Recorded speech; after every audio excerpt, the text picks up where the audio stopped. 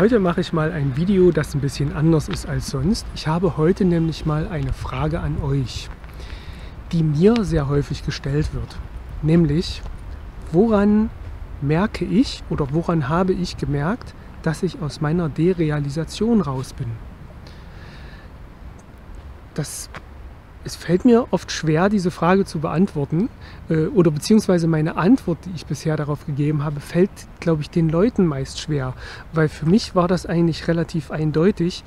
Ich habe gemerkt, dass mir meine Umwelt wieder real vorkommt. Es hat sich alles wieder echt angefühlt, ja, wenn ich das so gesehen habe. Es sah alles wieder richtig echt aus.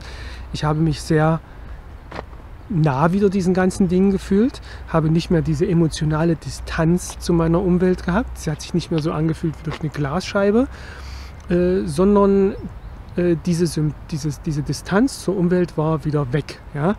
Äh, das war für mich auch dieses, das Leitsymptom der Derealisation. Ja? Ich habe zwar gemerkt, dass irgendwas noch nicht so richtig hingehauen hat. Das habe ich auch schon mal in einem Video beschrieben. Das kann ich euch da gerne nochmal verlinken in der Infobox und unter dem Video, für die, die das interessiert.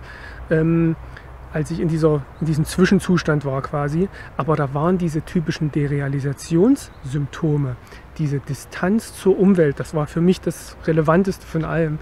Ähm, das war dann schon wieder weg.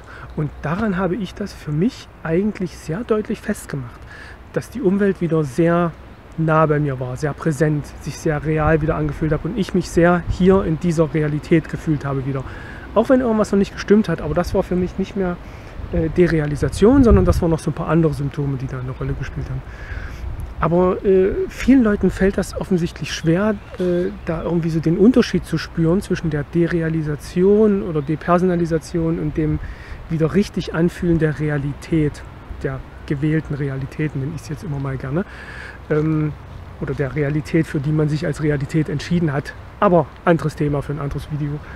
Ähm, aber ich möchte heute mal, jetzt nachdem ich es auf meine Art beantwortet habe, wo ich, woher ich den Unterschied so gespürt habe oder woran ich das festgemacht habe, möchte ich mal, dass ihr mir oder den Leuten in die Kommentare schreibt, also die von euch, die es schon überwunden haben oder die schon eine Besserung erreicht haben, dass ihr mal den Leuten in die Kommentare schreibt, also hier unter dem Video, äh, wie ihr das empfunden habt, was für euch ausschlaggebend dafür war, dass ihr merkt, es wird besser oder ah, die, jetzt ist die Derealisation oder Depersonalisation weg.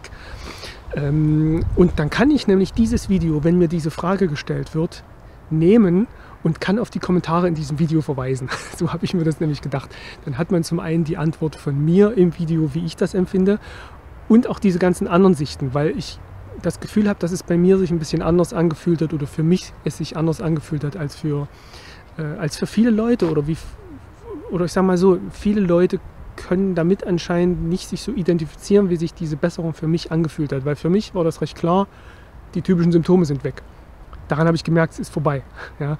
Und äh, das scheint aber, also das ich, lese ich auch und höre das auch von einigen Leuten, aber eben es ist sehr auffällig, dass das nicht alle so deutlich beschreiben für sich. Und ähm, mal, gucken, mal gucken, ob ihr da überhaupt andere Erfahrungen gemacht habt oder was äh, habt oder was da drunter schreibt unter das Video. Vielleicht fühlt es sich für euch auch gleich an, ja, äh, wie bei mir. Aber äh, schauen wir mal. Schauen wir mal, was da so für Informationen landen. Und äh, schon mal im Vorfeld Dankeschön für die Information. Äh, macht's gut, habt noch einen schönen Tag.